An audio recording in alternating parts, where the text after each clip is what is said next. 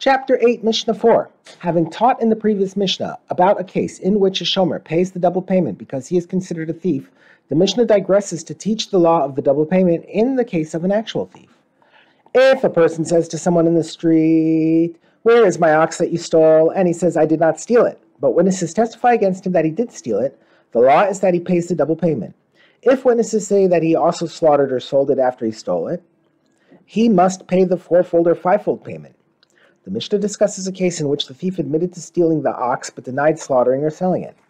If the thief saw witnesses approaching and he was afraid they were coming to court to testify about the theft, and he said, I stole the ox but I did not slaughter or sell it, and the witnesses then came and testified that he had slaughtered it or sold it, the law is that he pays only the principal, but not the double payment for stealing, and not the fivefold payment for slaughtering or selling it.